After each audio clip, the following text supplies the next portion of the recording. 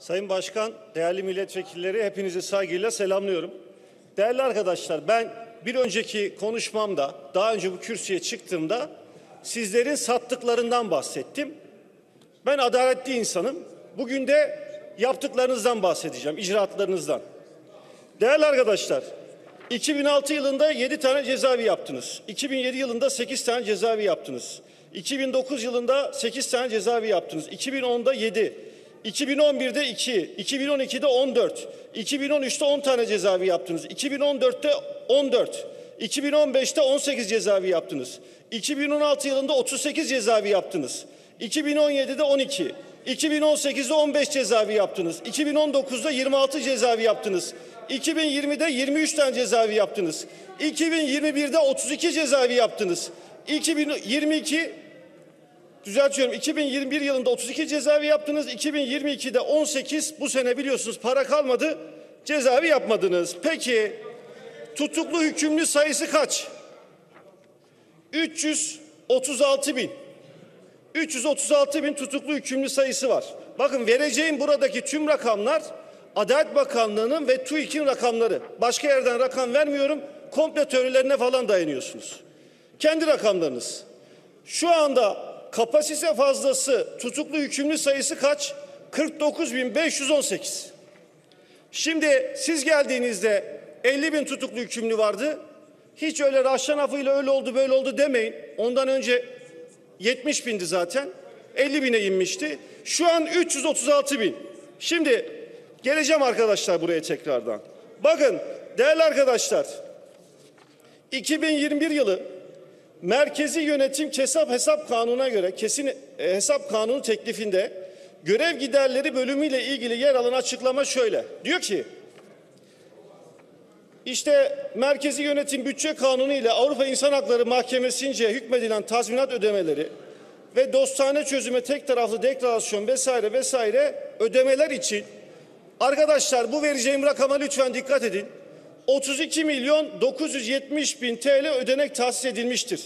Peki bu sene bu rakam 36 milyon. Geçen yıl 32 milyondu. Peki arkadaşlar kurum içi aktarımlarla 1 milyon 200 e, bin. Kurum dışı aktarımlarla 18 milyon 985 bin. Cumhurbaşkanlığı Strateji ve Bütçe Başkanlığı'nca yedek ödenekten 980 milyon eklenmiş. Toplam ödenek 1 milyar 33 olmuş. Toplam rakam da 1 milyar 302 milyon küsür TL. Değerli arkadaşlar bakın bu iktidar sadece Avrupa İnsan Hakları Mahkemesi kararlarına uymamak, hukuka uymamak, insan haklarına uygun kararlar çıkmadığı için, kötü yönettikleri için biz milletin vergisinden sadece bu yüzden ilave 1 milyar TL verdik. Bu senede muhtemel ne kadar vereceğimiz belli değil. Şimdi buna kim sebebiyet verdi? Hükümet sebebiyet verdi. O zaman hakkaniyet ne olmalı? Adalet ne olmalı arkadaşlar? Ya bunları halkın vergisiyle biz niye ödeyelim? Bu senede bu kadar çıkıyor. Dolayısıyla ben Sayın Bakan'ın ne kadar mal varlığı var bilmiyorum. Bakın hakkında bir yolsuzluk iddiası da duymadım. Ama kabinede çok zengin bakanlar var. E, Cumhurbaşkanı da zengin. Bu da sizin kusurunuz. Bir zahmet bu parayı aranızda toplayın. Ödeyin arkadaşlar ya. Biz niye bunu ödeyelim? Bu parayı biz nerede kullanacağız? Bakın Türkiye'de yine TÜİK rakamlarına göre vereceğim. 7 milyon 387 bin çocuk yoksul. Bu çocukların yoksulluğunu harcayalım bu parayı. Biz niye sizin kötü yönetiminizin sonuçlarıyla biz yüzleşiyoruz? Biz bu vergilerimizi niye bunları harcıyoruz? Göz göre göre siz anayasanın amir hükümlerine uymuyorsunuz. Kanunlara uymuyorsunuz. Sürekli ve sürekli Türkiye bu alanda dünya şampiyonu oluyor. Yani bu alanda birinciliği kimseye vermiyorsunuz. Bakın başka sonuçları var kötü yönetimin. Türkiye'de sürekli devam eden o kötü yönetim sonucunda artık değerli arkadaşlar mahkemelere yansıyan dava dosya sayısı inanılmaz bir hızla artıyor. Her yıl milyonlarca ceza dosyası var. Bunlar içerisinde konuşmamaz kaldı toparlayacağım ama değineceğim yerleri kısaltıyorum süre itibariyle. Değerli arkadaşlar bakın Tamamlayalım lütfen. Ülkede çocukların durumu çok kötü. Şimdi sadece yine TÜİK rakamlarına göre ifade edeceğim. Çocukların karıştığı olay sayısı bir yıl önceki rakamlara göre yüzde on artmış ve maalesef 499 bine ulaşmış.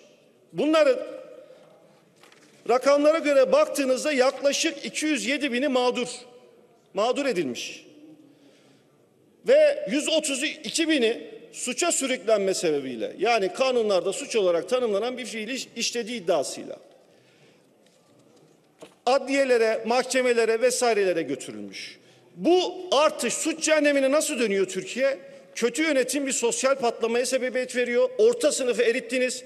Çok elit bir kesim var. Sadece onları görüp duyuyorsunuz. Toplum ezilmiş ve bu toplum içerisinde birçok nedenden ötürü böyle bir sonuç ortaya çıkıyor. İnşallah önümüzdeki dönem bunu hep